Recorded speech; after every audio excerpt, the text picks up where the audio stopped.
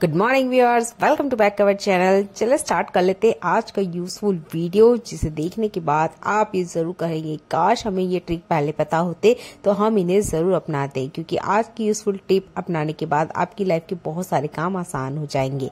पहला useful tip मेरा Vaseline से जुड़ा हुआ है। विंटर सीज़न आते ही ना हर घर में वेस्लिन होती है।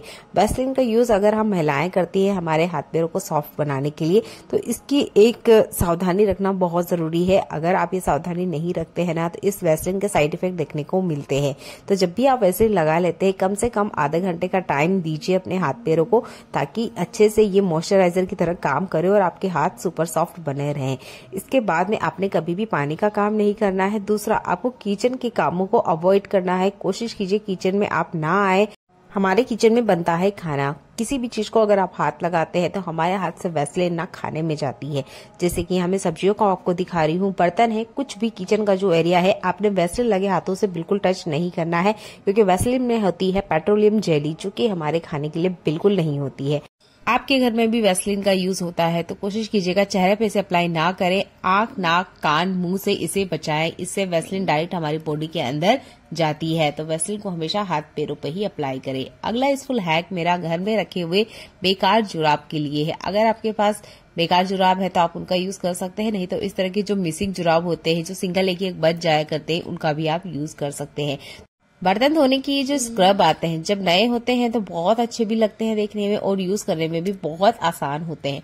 लेकिन जब हम इसे यूज़ करते रहते हैं तो आपने देखा होगा ये खत्म भी नहीं होते, उससे पहले ये बहुत ज़्यादा गंदे हो जाते हैं और इनको यूज़ करने का बिल्कुल मन नहीं करता है। तो ये जो मेरे पास स्क्रबर है, इन्हें मैंने दो हफ़्ते पहले निकाला था और अभी आप देख सकते हो इनकी हालत बहुत ज़्यादा बुरी हो चुकी है और मेरा मन बिल्कुल नहीं करता इनको यूज़ करने का। ये भी पूरी तरीके से खत्म नहीं हुए पर इनको यूज़ करने का मन नहीं होता है।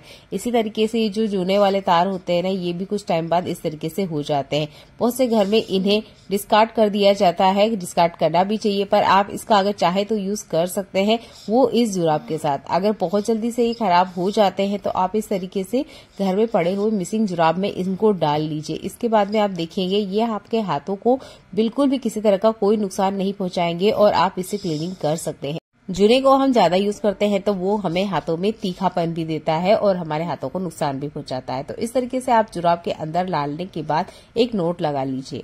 यहाँ पर आप जूने को भी इस तरीके से नोट लगा के रख सकते हैं और जो ग्रीन स्क्रब है, जो कि हल्के फुल्के खराब हो जाते हैं, उसको भी इसके अंदर डालने के बाद आप बर्तन क्लीन करने के लिए इस जुराब की पोटली का यूज़ कर सकते हैं। अगला अगला यूजफुल हैक मेरा स्पंज को लेके है। इस स्पंज का यूज़ करते हैं हम बर्तन क्लीन करने के लिए। जब हम इसे क्लीन करते हैं तो आपने देखा होगा, ये ना बिखरना स्टार्ट कर देता है। यानी कि ये क्लीनिंग कम करता है और टूटना स्टार्ट कर देता है, जिसकी वजह से बर्तन उल्टे गंदे होने लग जाते हैं। तो इसे हम कैसे यूज़ लें या कैसे इसे और लॉन्ग टाइम तक हम इसे चलाएँ? तो फ़िलहाल में तो थोड़ा टूट चुका है, पर इसको भी हम और काम में ले सकते हैं। या आप फ्रेश वाला इस तरीके के स्पंज का यूज़ कर रहे हैं तो उसे आप इस तरीके से जुराब में डाल लीजिए। अगर इसमें से थोड़ा बहुत कुछ टूटता भी है स्पंज तो वो इस जुराब के अंदर ही रहेगा, आपके बर्तनों को उल्टा गंदा नहीं करेगा।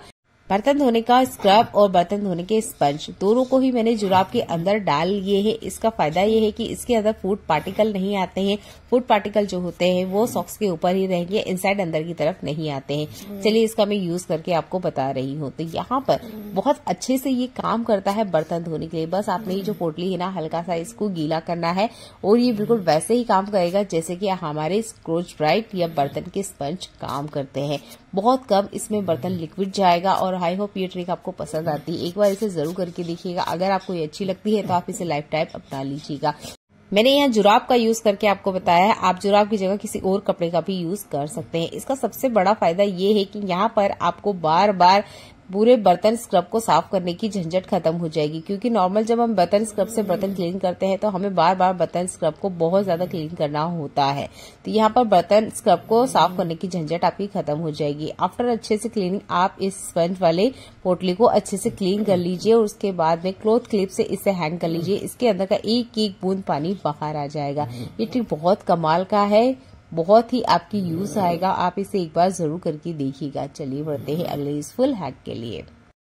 आपके घर में बढ़ते बच्चे हैं तो उन्हें आप अखरोट ज़रूर खिलाते होंगे पर इस अखरोट के साथ एक दिक्कत होती है। ये अखरोट ना बहुत ज़्यादा सख्त खोल के अंदर होते हैं जिसे निकालना आसान नहीं होता है। एक सिंपल सा ट्रिक मैं आपको बताऊँगी इसके बाद में अखरोट तोड़ने की जो झंझट है ना हमेशा के लिए आपकी खत्म हो जाएगी। तो आप अखरोट को ध्यान से देखिएगा। एक इसका तरफ़ होता है मुहाना और एक तरफ़ होता है इसका पीछे वाला हिस्सा। तो इसके पीछे वाले हिस्से में ना हम नाइफ की मदद से हल्का सा बस इस तरीके से डालेंगे और इसको ना ट्विस्ट कर देंगे। ये देखिए ट्विस्ट करते ही आप देखेंगे, ये बहुत आसानी से खुल जाएगा। मैंने कोई ताकत नहीं लगाई है। बस हल्का से इसके अंदर चाकू रखा है इस तरीके से और ट्विस्ट किया है। ये आसानी से खुल जाता है। अब आपको ना हैमर ढूँढने की ज़रूरत है, ना ही मुसल ढूँढने की ज़रूरत है, ना ही किसी तरीके से किसी पत्थर को ढूँढने की ज़रूरत है। सिंपल से इस चाकू से आप इसे आसानी से खोल सकते हैं। बस इसके पीछे वाले हिस्से में आपने चाकू को अटकाना है और इसे ट्विस्ट करना है। आप देखेंगे इसका जो सख्त खोल है बहुत आसानी से खुल जाएगा। ये आज तक की सबसे आसान ट्रिक है, एक बार ज़रूर करके देखिएगा। सेकेंडो में आप काफ़ी सारी जो अखरोट की गिरी है, वो निकाल सकते हैं जैसे कि मैं आपको निकाल के दिखा भी रही हूँ। बस इसके पीछे वाले हिस्से में आपने चाकू को ट्विस्ट करना है और अखरोट की गिरी बहुत आसानी से बाहर आ जाएगी। देखिए, देखते ही देखते मैंने कितनी सारी गिरी तीन अखरोट के अंदर से आपको निकाल के बताई है। आप इसे एक बार ज़रूर कीजिएगा। अगला इसफल हैक मेरा पेंट से जुड़ा हुआ है। इस तरह के पेंट हमारे घर में बहुत ज़्यादा होते हैं। इसे जब हम हैंगर में फोल्ड करते हैं तो ये होता है कि ये ना खुल के गिर जाया करते हैं, या इसके ऊपर जो शर्ट लगी होती है, उसके निकालने के चक्कर में ये पेंट भी बिखर जाता है। तो हम ऐसे कैसे घड़ी करें कि ये जो पेंट है, अगर शर्ट निकाली भी जाए तो ये खराब नहीं हो। तो एक सिंपल सा ट्रिक मैं आज आपको बताने वाली हूँ। इसे आप ज़रूर कीजिएगा। यहाँ पर जो पैंट है, सिंपल है आपने इस तरीके से इसको फैला लेना है। जो हैंगर है, उसको लगाने के तरीके को थोड़ा सा आपने चेंज करना है। तो जैसे मैं आपको दिखा रही हूँ, बिल्कुल इसका एक पेयर आपने कुछ इस तरीके से इसके अंदर डाल लेना है। हमने यहाँ पर सिर्फ़ एक ही पेयर डालना है, दूसरा अभी नहीं डालना है। जैसे मैं इसको नीचे की तरफ़ फोल्ड करूँगी, दूसरे पेड़ को डालने के ट्रिक को आपको ध्यान से देखना है। दूसरा पेयर हमने कुछ इस तरीके से फोल्ड करना है और अपोजिट इसके उल्टे की तरफ़ हमने इसको डालना है। जिस तरफ़ से इसका पहला पेड़ डाला हुआ है, उस तरफ़ से हमने नहीं डालना है। अपोजिट उल्टी तरफ़ हैंगर में हमने इसको हैंग करना है। अब आप देखेंगे, यहाँ पर एक नोट जैसा बन के रेडी हो गया है। इससे ये जो पेंट है, बिल्कुल खिसकता नहीं है, क्योंकि इस पे वन बाय वन चार लेयर बन गई है, जिसे खोलने के लिए आपको हाथों की ही ज़रूरत पड़ेगी। आप यहाँ पर अगर शर्ट निकालते हैं या किसी वजह से आगे पीछे हैंगर को करते हैं अलमीरा में, तब भी ये बिल्कुल नहीं खिलने वाला है, क्योंकि अच्छे से यहाँ पर हमने चार लेयर बना के रेडी कर ली है। इससे जो आपका पैंट है बिल्कुल भी नहीं खुलेगा। ये बहुत काम का हैक है, इसे ज़रूर अपनाइएगा, क्योंकि आप भी अलमीरा में इसी तरीके से हैंगर में कपड़ों को हैंग करके रखते होंगे। उसके बाद भी जब भी एक कपड़े को निकालने जाओ तो दूसरे वाले ना खिसक के नीचे गिर जाते हैं, जिसके बाद में यही काम हमें दोबारा करना होता है। अगर बच्चे हैं तो बच्चे तो बिखराने का काम करते ही करते हैं। हम उन्हें ज़्यादा नहीं बता पाएँगे कि आपने किस तरीके से कपड़े निकालने हैं, किस तरीके से नहीं निकालने हैं। तो यहाँ पर सिंपल वाला तरीका भी मैं आपको दिखा रही हूँ। इसमें ये प्रॉब्लम होती है कि इसमें पैंट तो अच्छे से चल जाता है, पर अगर हल्का सा हाथ लग जाए ना तो पैंट इस तरीके से बाहर निकल के आ जाता है और ये प्रॉब्लम आम है जो कि होती ही होती है। तो आप इस तरीके से अगली बार नहीं फोल्ड कीजिएगा। जो तरीका हमने आपको बताया है, इसे एक बार आप ज़रूर करके देखिएगा। करने में भी आसान है और पेंट की फोल्डिंग बहुत आसानी से बिल्कुल नहीं खुलती है। भले कितना ही हैंगर को हिला लीजिए। अगला इसफुल हैक आपको बहुत ज़्यादा पसंद आने वाला है, क्योंकि नींबू हर घर में यूज़ किया जाता है, ये हर खाने का स्वाद बढ़ाता है। आपने नींबू बहुत तरीके से काटे होंगे, पर आज जो नींबू काटने का तरीका मैं आपको बता रही हूँ ना, वो थोड़ा सा अलग है। इसके ऊपर वाले हिस्से को आपने बस हल्का सा काटना है, और उसके बाद में आपको नींबू का जूस जूता भी आपको इसमें से निकालना है, निकाल लीजिए। या इस तरीके से नाइफ की मदद से इसके अंदर के पार्ट को भी आप थोड़ा बहुत निकाल लीजिए। यहाँ पे हमने नींबू को काटना भी ज़रूर है, इसका जूस भी निकालना है, पर इसको कुछ इस तरीके से आप काटेगा, इस एक थोड़ा सा दिए जैसा शेप देना है, इसका हम यूज़ ले सकते हैं। क्योंकि अक्सर क्या करते हैं, हम नींबू का जूस का यूज़ तो करते हैं, पर इस छिलके को ना फेंक देते हैं, जबकि ये बहुत ज़्यादा हमारे काम आ सकते हैं।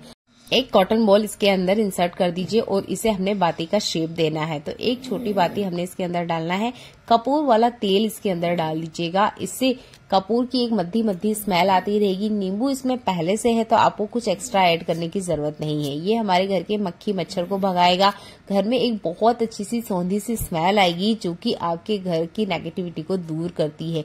इसे आप ज़रूर बना के रखिएगा जब भी आपके पास नींबू आता है। और आपके पास कपूर का तेल नहीं है तो नॉर्मल कोई सा भी तेल लीजिए। उसमें आप कपूर को थोड़ा सा पाउडर बना के डाल दीजिए। कपूर का तेल बन के रेडी हो जाएगा। अब मैं इसे टेबल पर रख रही हूँ जहाँ से मुझे लगता है कि हल्की सी बैड स्मेल आ रही है और यहाँ पे थोड़े बहुत ना मच्छर भी होते हैं। तो आप इस तरीके से नींबू के छिलके का यूज़ कर सकते हैं। चाय पत्ती का यूज़ हमारी डेली लाइफ में बहुत ज़्यादा किया जाता है चाय पीने के लिए, पर आज हम चाय पत्ती का अलग तरीके से यूज़ करने वाले हैं। तो थोड़ी सी हमने चाय पत्ती लेनी है लगभग एक चम्मच और एक कॉटन के कपड़े में इस तरीके से इसकी एक पोटली बना के रेडी कर लेनी है। चाहे तो आप यहाँ टिश्यू पेपर का भी यूज़ कर सकते हैं और इस पोटली को लेके चलेंगे आज हम फ्रिज के अंदर। इसका यूज़ आज मैं फ्रिज के अंदर आपको बताने वाली हूँ। तो इस तरीके से आप एक छोटी पोटली बना लीजिए। अगर फ्रिज में से बहुत ज़्यादा बैड स्मेल आ रही है तो आप तीन तीन से चार पोटली बना के रेडी कर लीजिए। चाय पत्ती की ये छोटी सी पोटली आपके फ्रिज की जितनी भी बैड स्मेल है, उसको खत्म कर देगी। ये ट्रिक आजमाया हुआ है, काम करता है, एक बार आप करके देखिएगा और उसके बाद मुझे कमेंट करके ज़रूर बताइएगा कि क्या ये ट्रिक आपके लिए भी काम किया है। चलिए मिलते हैं अगली ऐसी यूजफुल वीडियो में, तब तक अपना ध्यान रखिएगा। देखने के लिए धन्यवाद।